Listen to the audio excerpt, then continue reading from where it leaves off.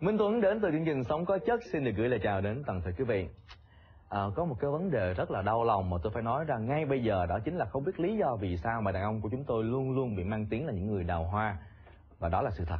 Chúng ta phải chấp nhận những chuyện đó. À, những người đàn ông thì thường xuyên rất là phải đối phó với lại cái chuyện là chúng ta dễ bị siêu lòng trước những cái bóng hồng khác. Và điều đó thì gây nên rất là nhiều những nỗi phiền muộn cho những người vợ của mình. Và trong tình huống như vậy thì người vợ sẽ phải cư xử như thế nào? Phải tìm ra cách gì để lôi kéo người đàn ông mình trở lại với mái ấm gia đình? Và đó sẽ là chủ đề của chúng ta trong ngày hôm nay. Thưa quý vị ngày hôm nay thì chúng ta sẽ cùng nhau gặp gỡ với uh, chuyên gia của chúng tôi. Đó chính là thạc sĩ tâm lý Nguyễn Thị Mỹ Hạnh. Xin được chào chị. Chào Minh Tuấn chào tất cả các khán giả của chương trình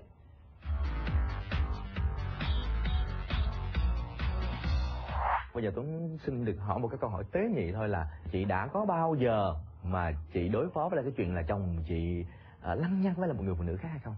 Cũng có. Cũng có. Rồi như vậy là một người từng trải. Và để xem một người từng trải thì sẽ cho chúng ta những trải nghiệm gì quý vị nhé. Hãy cùng nhau đến với là tình huống đầu tiên. Xin mời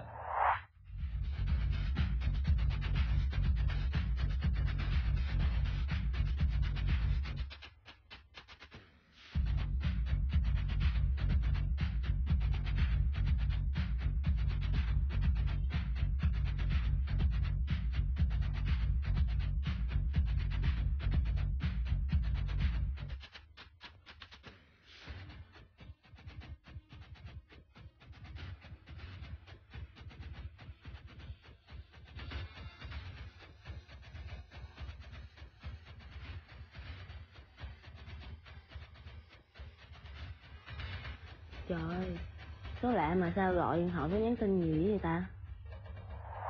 Thì trong cái tình huống này chị phân tích giùm Tuấn coi đó có phải là những cái dấu hiệu là người chồng đang ngoại tình không? Có chứ, đó cũng là một trong những dấu hiệu cũng là thậm chí khá là đặc trưng của những người đàn ông đang có vấn đề đấy. Thấy chưa, quý vị thấy chưa, phụ nữ nhạy cảm lắm cho nên mà lỡ mà ai có cái gì thì nhớ cẩn thận. Nhưng mà bây giờ mình đi sâu một cái vấn đề đi là nếu như mà đây là những cái dấu hiệu của ngoại tình và phụ nữ nhạy cảm như vậy thì thừa biết được chồng mình thay đổi tính khí như thế nào rồi, đúng không? Vậy thì họ nên làm gì chị?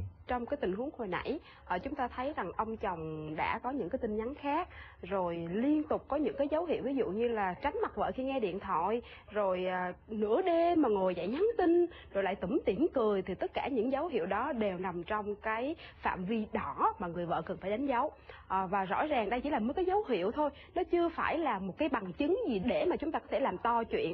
Mà nếu mà im lặng cho qua thì trong lòng còn ấm ức lắm đúng không nào cho nên nếu đặt trường hợp là tôi trong trường hợp ấy thì tôi sẽ có cách xử lý. Không nên to chuyện cũng không nên bỏ qua một cách dễ dàng. Tôi sẽ có cách xử trí khác. Ví dụ như là tôi sẽ giả vờ theo dạng như là ô cái số máy này em thấy quen nè dạo gần đây hay nhắn tin cho anh nè. Ồ hình như là cô ấy cũng khá xinh hình như em biết cô ấy rồi phải không? Ờ, dường như cái số máy này em đã từng thấy liên lạc với anh lúc nửa đêm. Số máy đó là ai vậy anh? Rồi, vậy thì người đàn ông sẽ trả lời như sau.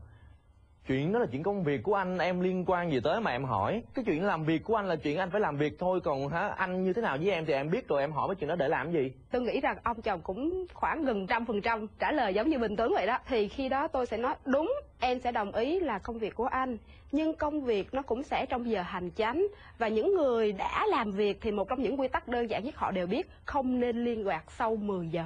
Vậy thì những cái tin nhắn của anh từ lúc 10 giờ trở đi là những tin nhắn gì? Mà nếu anh cho rằng đó là công việc, anh có sẵn sàng chia sẻ password và tin nhắn đó cho em xem em kiểm tra hay không? Ủa chẳng lẽ yêu nhau mà em không tin tưởng nhau sao? Trời ơi mấy cái chuyện đó là chuyện riêng tư của anh Có những cái mối quan hệ mà anh vẫn phải dùng những cái ví dụ như là dùng nhan sắc của anh ra Để mà anh có được cái hợp đồng của công ty chẳng hạn Em cứ như vậy hoài là làm sao mà mình tin tưởng mình yêu nhau được Đúng vì em rất tin tưởng anh cho nên là em muốn được kiểm tra để kiểm xem cái độ tin tưởng đó cỡ nào tôi đúng những lời anh nói hay không. Cứ trước mắt là cho em chưa tin đi nhưng anh hãy chứng minh sự tin tưởng đó bằng cách đưa điện thoại cho em, ok chứ?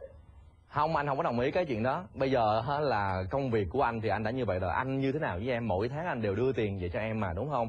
Rồi anh đi làm về cũng đúng giờ đúng giấc đàng hoàng. Anh đâu có làm gì có lỗi với em đâu mà anh phải làm những cái những cái chuyện mà anh là đàn ông anh không có chấp nhận những cái chuyện đó. Ừ, đúng rồi là anh sẽ nói với em rằng là cái chuyện đó là chuyện riêng tư của mỗi người. Rồi thậm chí cái chuyện điện thoại nó cũng là cái quyền của riêng anh đúng không nè? Và em cũng nghĩ rằng cũng là nên nên như thế. Nhưng mà vợ chồng cái chuyện mà quyền riêng tư nó không có cao bằng cái sự tin tưởng đúng không anh? Giữa anh là có quyền riêng tư có quyền tin tưởng anh muốn chọn cái nào? Anh muốn chọn quyền riêng tư hay anh muốn chọn quyền tin tưởng của em?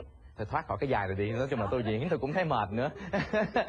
Nhưng mà à, thật sự cho thấy một cái điều rằng là à, cái cách của chị Mỹ Hạnh đó chính là chúng ta khai thác vào vấn đề để chúng ta cho người đàn ông ấy biết được rằng là tôi biết anh đang làm gì. Và cái cách tôi giải quyết vấn đề là tôi luôn luôn cho ra những cái câu trả lời hợp lý cho những yêu cầu của mình. Bởi vì một trong những cái điều quan trọng nhất để mà giữ tình cảm của hai người đó chính là sự tin tưởng. Tuy nhiên nếu mà đã là một người đàn ông rồi và đã yêu mến một cái người khác rồi thì chúng tôi có vô vàng những cái cách khác để mà đối phó với lại người phụ nữ của mình. Tôi đang nghĩ ra một cái tình huống là nó rất thật nha quý vị. Cho nên là quý vị cũng đừng có nghĩ là tại sao minh tuấn lại manh mún như vậy. Nhưng mà thật ra có những người đàn ông như thế. Ví dụ như là à, tôi đã thích một người phụ nữ rồi nhưng mà để làm sao mà vợ của tôi không cảm thấy rằng là tôi đang có một người khác tôi sẽ làm rất là nhiều cách. Và một trong những cách đó quý vị hãy cùng xem tình huống của chúng tôi.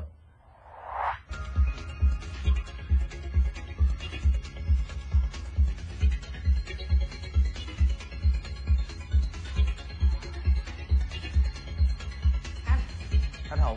Ủa em mới đi làm về hả? Em đi vô nhà nãy giờ anh mà còn không hay nữa. Thì anh ờ, suy nghĩ đến việc công ty mà. À Có món quà này cho em nè. Wow Việc gì mà tặng quà cho em? Đi đường đó Rồi ghé qua cái điện thoại di động rồi thấy nó bán ờ, cái máy iPad này dễ thương mới mua cho em. Chứ thấy vợ xài cái điện thoại của bắp Chồng nói không chồng biết lâu Trời ơi đẹp quá cảm ơn anh nhiều nha. Thôi em lên tắm rửa thay đồ gì đi Rồi xuống chuẩn bị ăn cơm với anh. Ha Rồi.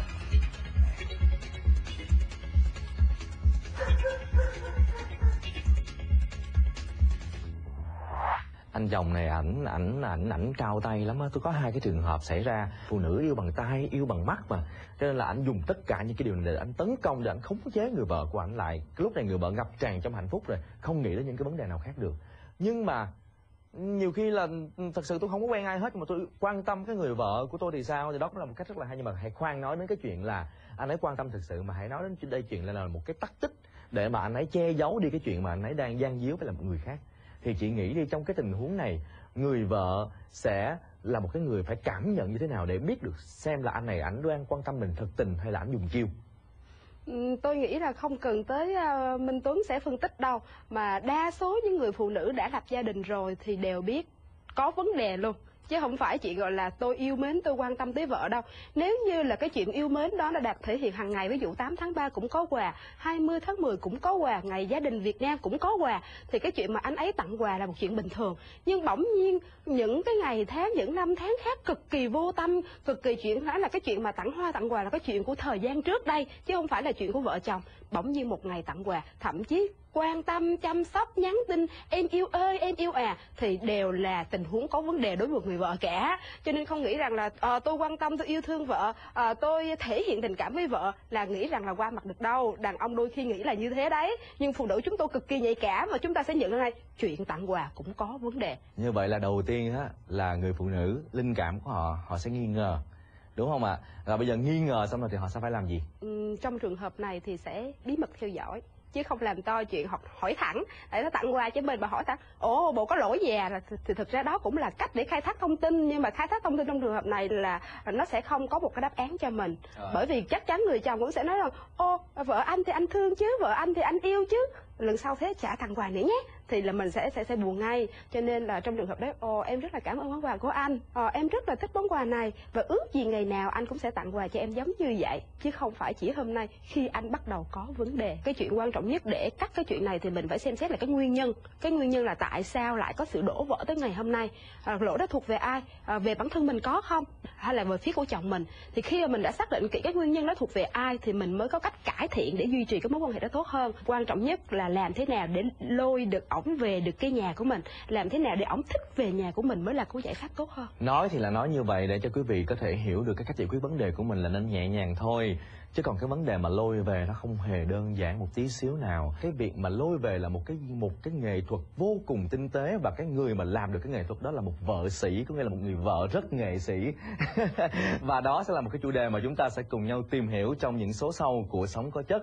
Và trong ngày hôm nay, vấn đề của chúng ta đặt ra là nếu như mà người chồng của mình đã bắt đầu tơ tưởng đến những mối quan hệ khác, thì hướng giải quyết của chúng ta sẽ là chúng ta phải là một người phụ nữ rất là tinh tế để tìm hiểu được à, cái nguyên nhân để tìm hiểu được cái ngọn nguồn của câu chuyện và sau đó thì chúng ta sẽ có những cái cách hành xử phù hợp một cách nhẹ nhàng chúng ta nói chuyện hoặc là chúng ta thay đổi bản thân mình như thế nào đó để mà à, mọi thứ trong cuộc sống của chúng ta sẽ trở lại như lúc ban đầu khi mà hai người yêu nhau và thông qua những tình huống mà tôi cũng như là chị Mỹ Hạnh chia sẻ thì hy vọng là quý vị đã có được những kinh nghiệm cho bản thân mình để xử trí những cái việc tương tự diễn ra trong gia đình của mình.